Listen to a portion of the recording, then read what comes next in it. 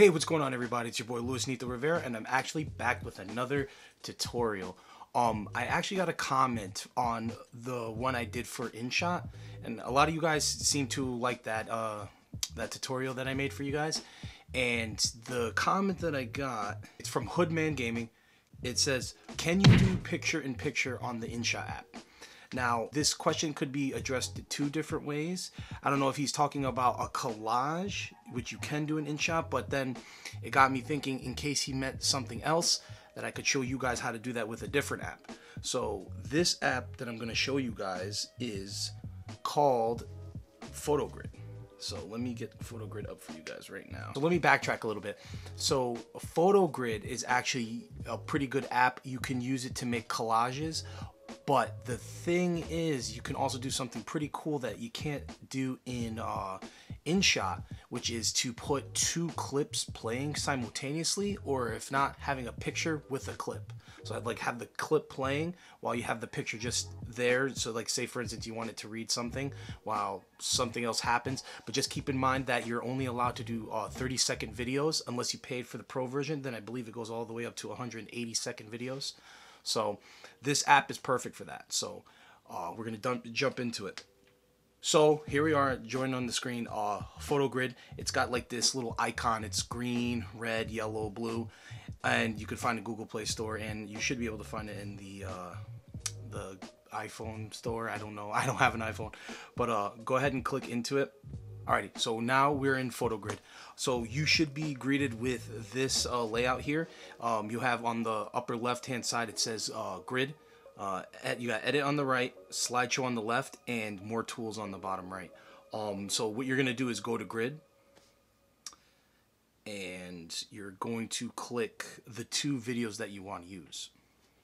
Okay, so now here I have two of the clips selected uh, that I want to use, which is an actually an upcoming skit that I was gonna put out on uh, Instagram for you guys and also YouTube. Um, so I got these two clips, right? I'm gonna hit next, and it, on the top there, it allowed it, it allowed you, excuse me, it allowed you to add uh, the layout of the video. Oh my gosh, you hear the the farting sounds. So let me let me go ahead and mute that. Um, anyways, so what you want to do here is uh, you're gonna hit layout. And depending on the orientation of your videos you might want to swap them around or you know have the layout a little bit differently but I'm gonna choose both of the uh, horizontal videos. So I'm not sure if you guys seen uh, those videos where uh, it's like on like if you go on Instagram there's this uh, site called uh, adult like jokes and they have like this little toy that you can control with a cell phone that vibrates so I had the idea of doing a skit where like somebody walks up with a cell phone and then it's just like me going, you know what I mean? Like it, it's just meant to be funny. But um, so you could take these two clips and have them play simultaneously. You can't do that on uh, on InShot. So and you can swap them too by pressing and holding the clip and then uh, dragging it up to the top.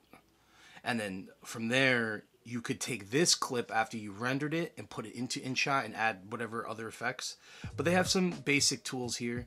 You can do uh, like text. So we'll just put uh, get this dope adult toy. You know what I mean? We're gonna we're gonna switch that so it says something differently. Throw like a white and we'll change this border to like a black. That doesn't necessarily have to have the shadow because uh, can't even really see it here. And we can turn this down as well.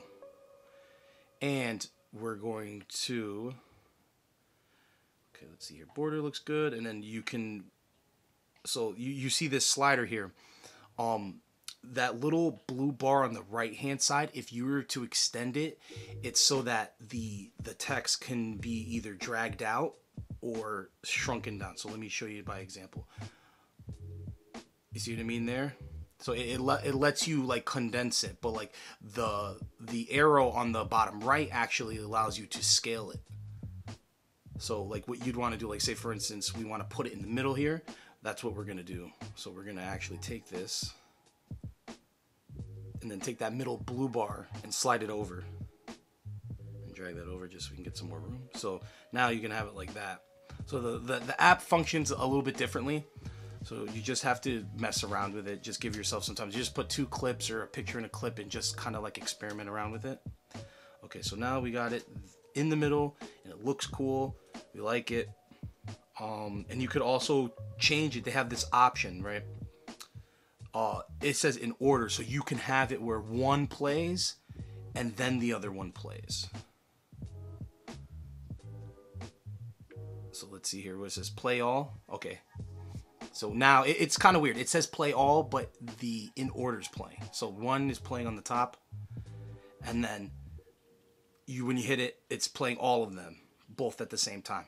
So like for this one, I would probably want it to like put the the toy on the bottom. Like let's see, put it on the top there, right? And then I would want for comedic effect, I would hit that so that the first one plays, right? And then the bottom one plays after. So keep in mind when you do that and it takes one, it plays one after the other, it's to actually double the length of the video. So you know how it was before it was 30 second clips, it makes this one into 60 so it gives uh, each clip the 30 seconds that it's allowed. Yep. And then also too if you want to make the background cool or change its color, you can do that. If you're making this for like IG, you'd probably want to keep it white just so it blends in. It looks like there's two clips there instead of like uh, the border would kind of show that it's like uh, two, like one actual clip instead of two little clips. Which let's see here, and then you could you could do like the the little uh, borders that they have here. Make it like pretty or cool, whatever you guys are using your uh, the editing software for. A lot of this is the similar tools that InShot has. So if you guys haven't seen my InShot tutorial, I'd definitely recommend viewing that first and then coming to this afterwards.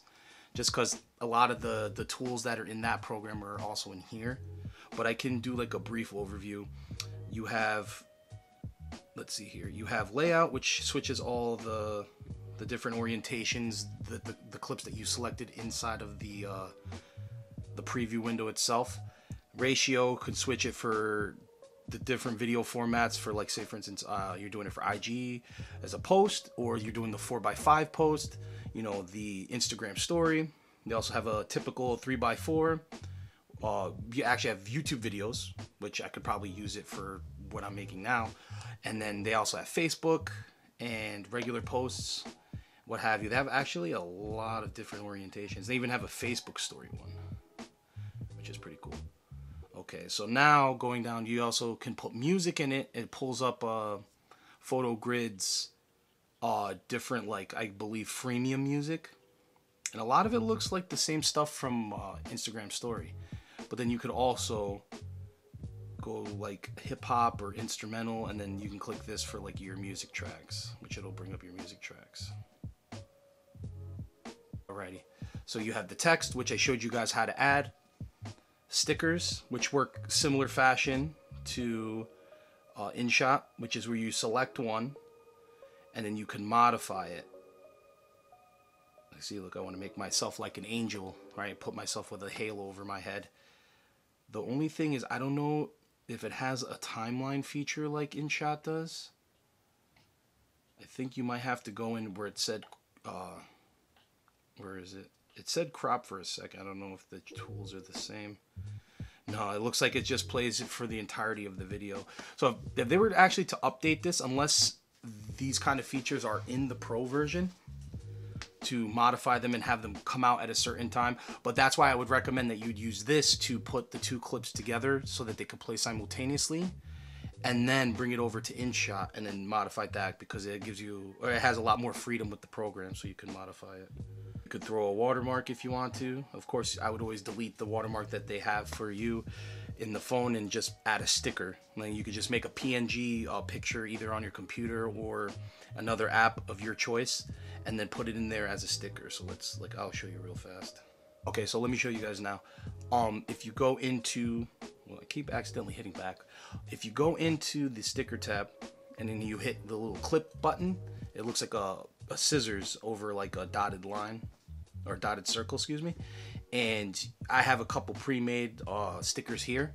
Um, so what you, you would just do is hit the plus button and then you'd go into your camera roll and then select and then it would allow you to uh, cut the dimensions of it out. They give you shapes like circles or diamonds or hearts. But if you make a PNG, you could put it like what how I have my Nito LR here. I'll put it there and, and it pops up on the, the screen here and then I can just put it so I can have it watermarked in case you know you're worried of somebody stealing your stuff and then you could turn the opacity down so that it's not like obnoxious you know? But then now if somebody tries to steal your content they're going to be greeted with the watermark. Okay. And yeah those are all the tools for it. And then once you're done and it looks nice and you have it the way or you know you you've put the clips the way you want them you put the your watermark on it you put your text in and then you're just to hit save. In this part i would recommend putting it on a charger because the uh, rendering process can take a little bit. You don't want to do it like when you're on low percent and then lose all your progress. All right awesome. And now it's saved to your camera roll so now you can go ahead and access it. So like now let's say we're to go to our ig right? Boom ig press the little plus button and there you go. The video is right there located on the screen. Awesome, guys. Uh, hopefully this helped you out. I got that question and I made me think of a, like another video idea to make for you guys. So if you have any other questions like that, that is like, hey, this feature or how do you do this said thing? And I can let you know if there's a different app that does that particularly, or if there's a way to do that in the apps that I've already showed you. Um, it just sometimes little stuff like that you have to like mess around with it and kind of know the ins and outs of it in order to make a video and have that said effect that you're looking for. Anyways guys hopefully you enjoyed the video. Um you know if you liked the video like it. You, you didn't like it you know what to do. Um go ahead and share it with your friends and leave me a comment below. And hopefully you guys have a wonderful day. Peace